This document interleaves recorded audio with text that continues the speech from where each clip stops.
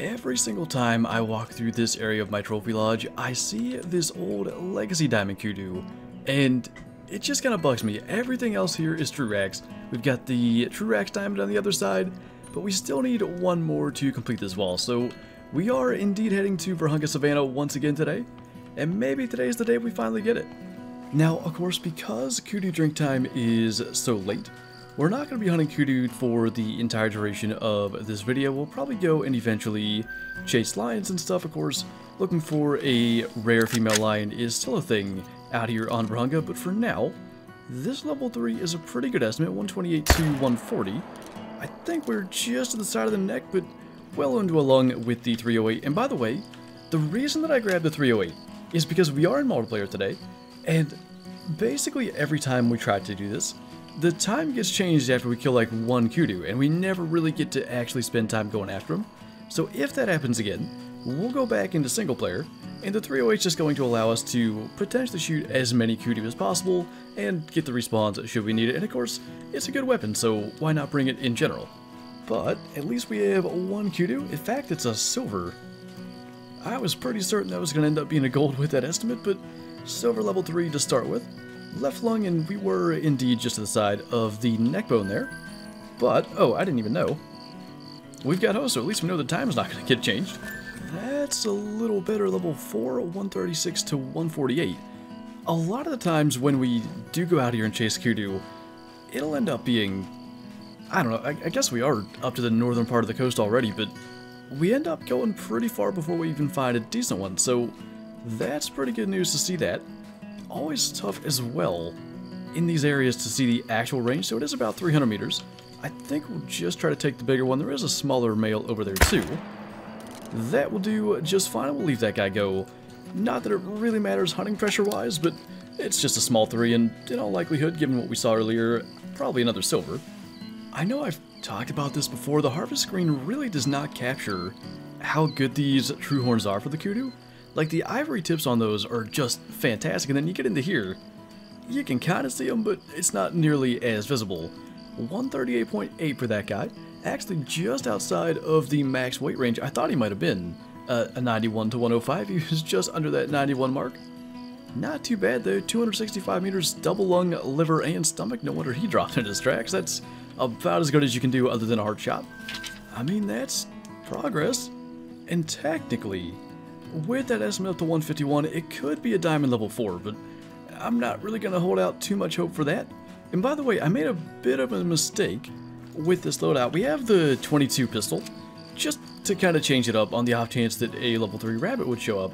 And of course, it is effectively the same as the 22 LR when it comes to shooting an animal and kind of alerting them. But the problem is, I didn't bring a scope, and I think I'm going to have a hard time gauging the bullet drop correctly to actually alert them, but I mean, maybe that'll be enough. It actually worked. Got one running by here. That's not a bad one either, and I don't know why he just stopped there. I guess it's kind of due to the water.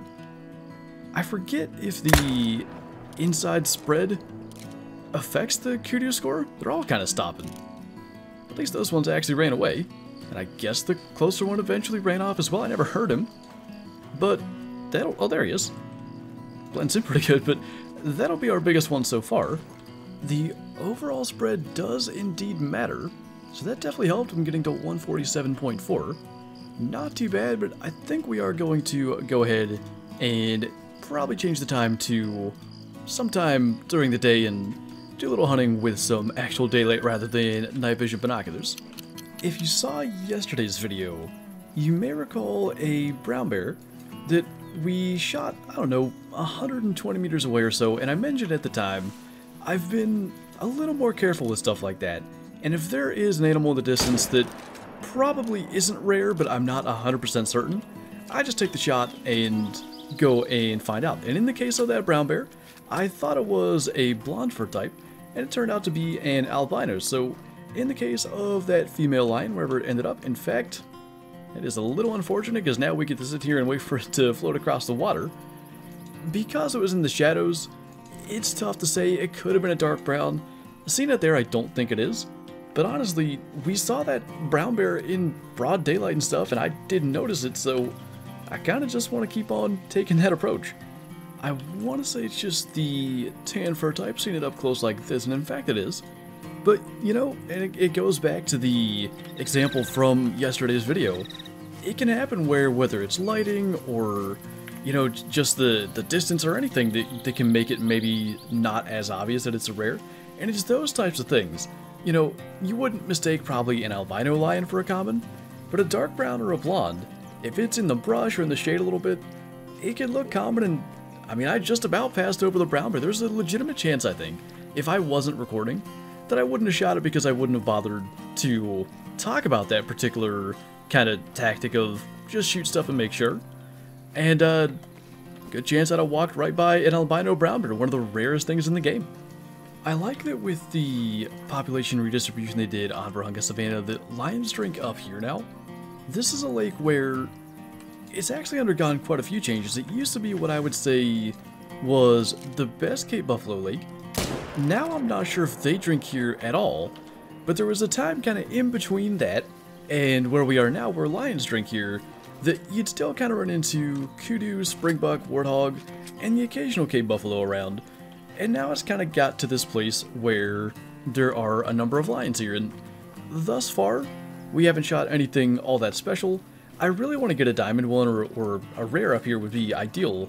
Just, I don't know, I like this area. It's been one of those spots that over all the years that Vurhonga has existed, we've come here to look for different trophies and taken quite a few, including our first ever albino Cape Buffalo.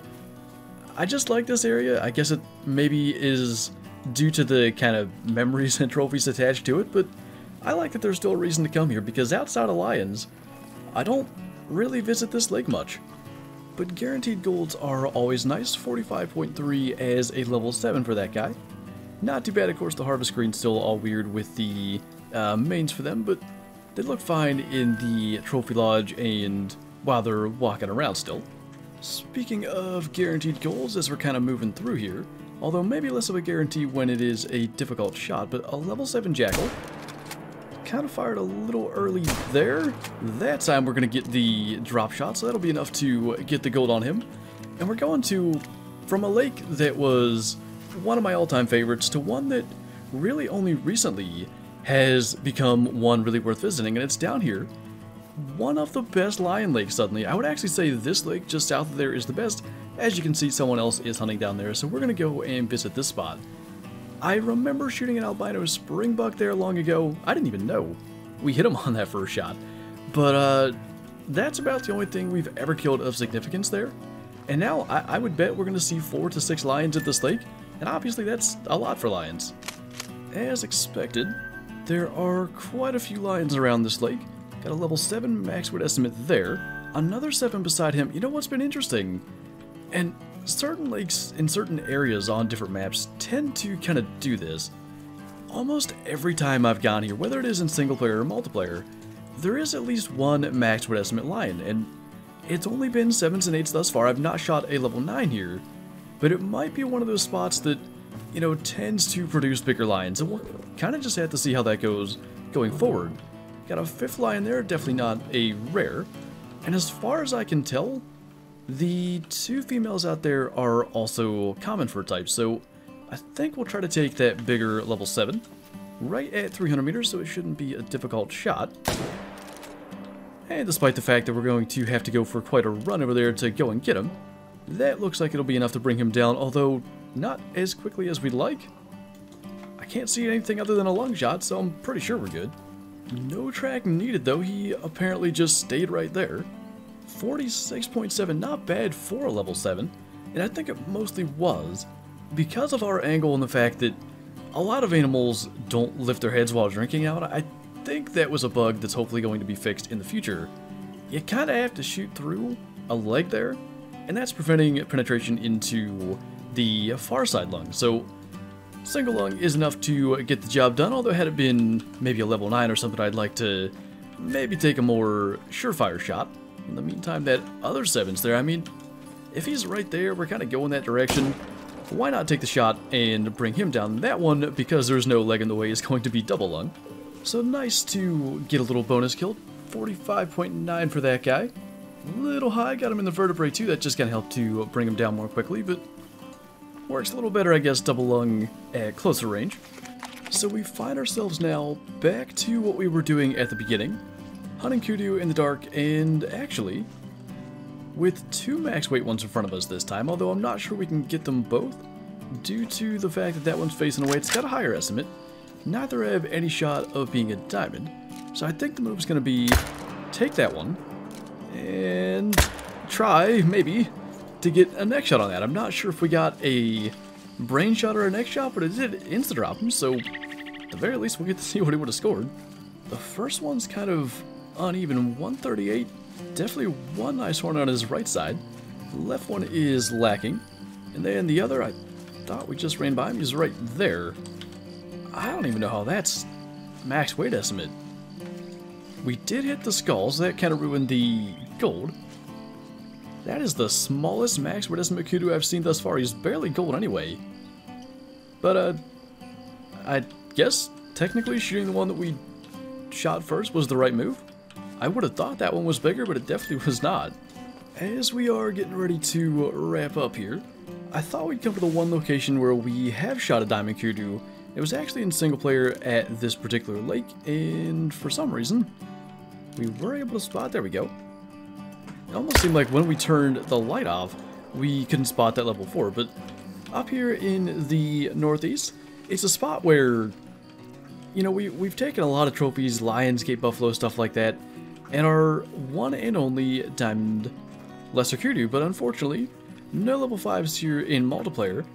But I guess the good news is, compared to our normal hunts, specifically targeting kudu in multiplayer, at least we actually got to shoot a couple during their drink time today.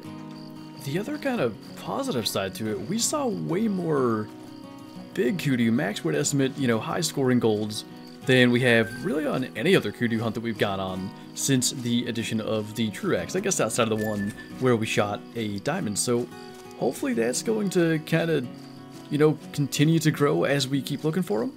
I just hope, you know, there's a couple of things. The albino grizzly bear has been one we've really been grinding for I'd love to get another Diamond TruRACS Kudu out of the way before the release of Revontuli Coast, just so it's not something where we're trying to go back, you know, maybe before we otherwise would, and get out here in Vurhonga and look for a Kudu. So hopefully we can get out of here a few more times in the near future, and maybe we can get that Kudu in one of those hunts. But anyway, that is going to do it for this video, so thank you guys for watching, and I'll see you next time.